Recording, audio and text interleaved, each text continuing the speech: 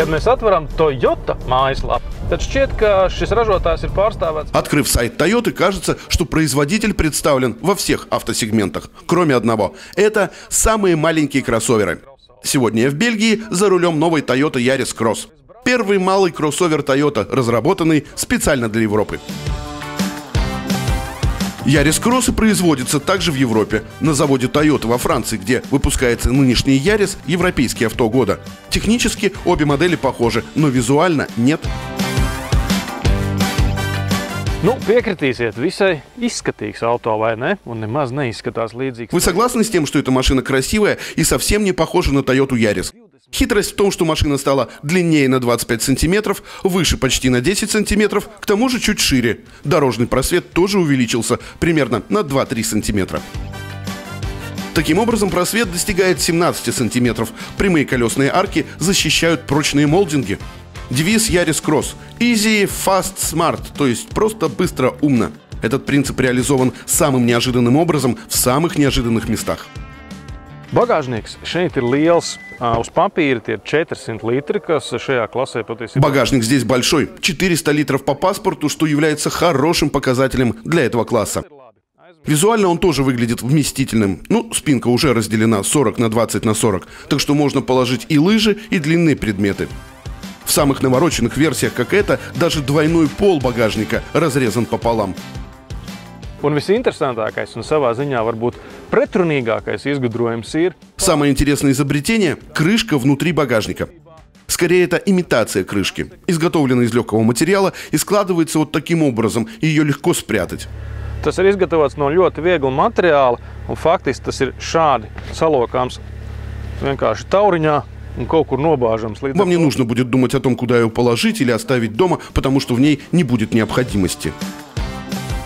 Хотя Ярис Кросс намного выше хэтчбека, колесная база не изменилась. И где-то это должно было проявиться. Nav iznācis pārlieku veiksmīgi. Durvis tomēr Это не очень удачно. Дверь могла бы открываться пошире. Попробуем сесть. Сзади места гораздо больше, чем я ожидал. Jā, nu tā izkāpšana ir mazliet tāda. Tā kā. Но выбраться наружу – это как из норы вылазить. Но теперь пора узнать, как Ярис Кросс едет. Šodien mēs braucam ar 1,5 litru trīs cilindru automobīlu. Сегодня мы едем на полуторалитровом трехцилиндровом автомобиле, который, как все Toyota, является гибридом. Можете получить и обычную версию. Это переднеприводной кросс. Да, эту машину тоже можно получить с полным приводом.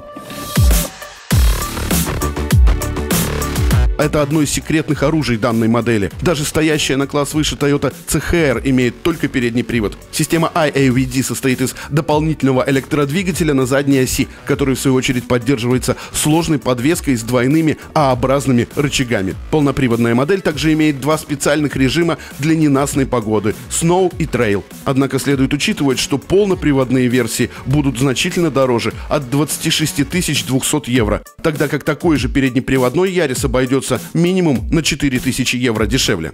Savai klasei Jānis Kross patiešām ir ļoti labi aprīkots. Pat ja nav Для своего класса Ярис Кросс очень хорошо оборудован, даже если это не комплектация Elegance, на которой я сейчас еду.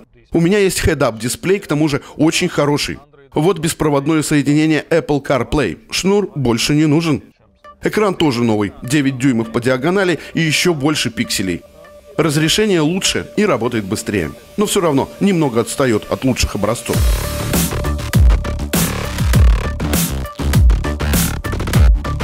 Ярис Кросс радует удачной посадкой с подручно расположенными кнопками стеклоподъемников, классическим рычагом вариатора и элементарной приборкой. Гибрид имеет общую мощность 116 лошадиных сил и расход всего 5 литров на 100 километров, совсем как маленький Ярис.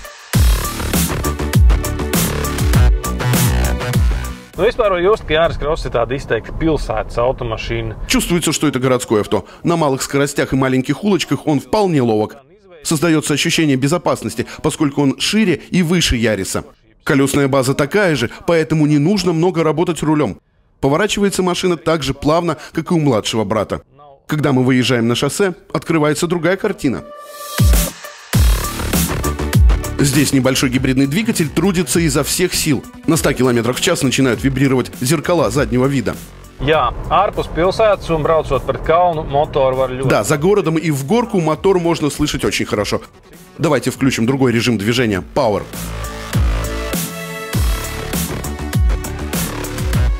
Nu, teiksim tā, motors kļūst skaļāks, bet ātrāk. Ну, скажем так, мотор рычит громче, быстрее мы ехать не стали. И хотя мотор довольно громкий, он живучий, поэтому обгонные маневры не так мучительны. Если хотите, чтобы джипчик получился более ярким, очевидно, нужно брать обычный двигатель 1.5. Его мощность составляет 125 лошадиных сил, но аппетит повыше. Automašīna labi izskatās, tā ir lielāka un augstāka nekā mazautotāji. Автомобиль выглядит хорошо, он больше и выше обычной малолитражки. Подходит для города. В нем для своих размеров довольно много места и неожиданно большой багажник. Его можно подключить ко всем электронным устройствам. Он очень безопасный, потому что большинство помощников идут в стандарте. К тому же он очень экономичен, если не сказать больше. Также имеется привлекательная цена, хорошая комплектация уже от 20 тысяч евро. А что еще нужно от маленького городского джипа? Nu, ko tad vajag no viena maza pilsētas?